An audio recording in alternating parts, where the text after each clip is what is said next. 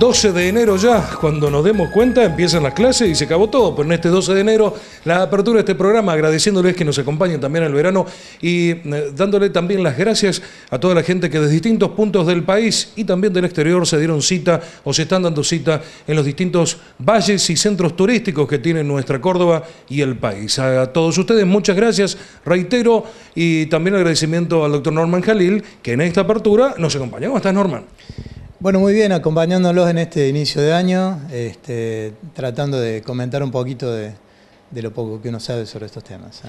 Oiga, hablamos, mucha gente ya lo conoce y otra gente se va sumando. Con el doctor Norman Jalil hablamos de todo lo que es la cirugía de la obesidad mórbida, sus ventajas, no sé si sus desventajas, usted va a tener que seguirnos y si es de otra provincia va a entrar en www.parasusalud.tv y, y retocar todas esas notas. Pero también lo que es la cirugía de tiroides, lo que es la cirugía abdominal, la, famosa hernia de hiato y demás. Pero antes de, continuar, creo que la importancia de que no es la mano solamente de un cirujano, sino todo un equipo de trabajo, ¿no, Norman?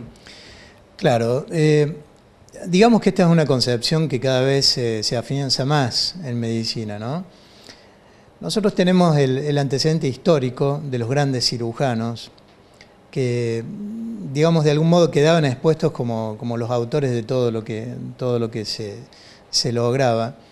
Actualmente la idea del equipo toma cada vez más fuerza en medicina y toma fuerza con un solo concepto, sacar lo mejor de cada uno de los especialistas para llegar al momento de la operación en las mejores condiciones posibles, lo cual va a redundar en excelentes resultados en el postoperatorio.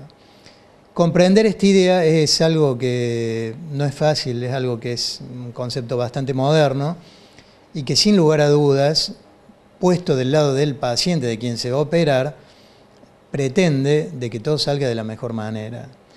Bueno, para eso existe un equipo, en donde conociendo los objetivos, las necesidades, la forma de llevar a un paciente en las mejores condiciones, ya sea en cirugía de la obesidad, en donde diría hoy que es primordial.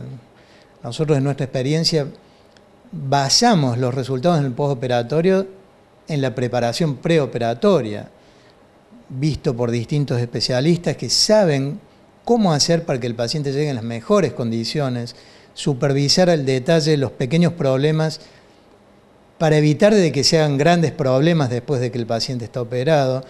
Bueno, todo ese concepto lo único que, pretende es darle mayor seguridad al paciente y garantizar buenos resultados al momento que el paciente ya ha sido operado.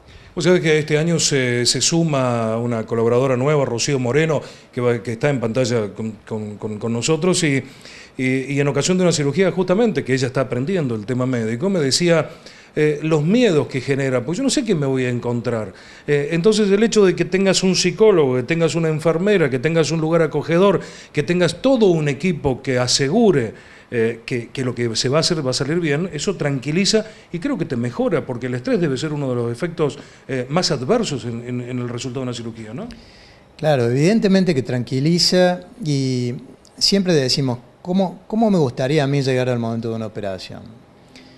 Si hablamos de cirugía de la obesidad, diría que más todavía, por lo que significa, por el significado que queremos darle como una opción de, cambio de vida, de incorporar hábitos sanos por el resto de la vida.